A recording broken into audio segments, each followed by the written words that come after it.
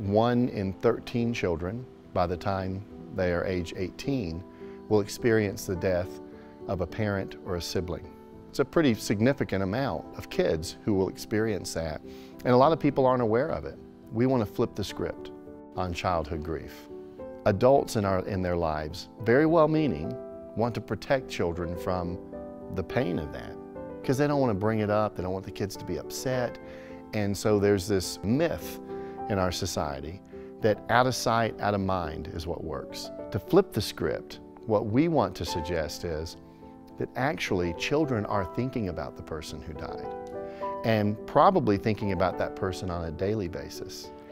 And when we don't engage our kids in their grief, we actually leave them to grieve alone. Engage them, check in with them, see how they're doing. Give them opportunity to talk about that person, to remember the person. Think about the kids in your life who you know that are grieving.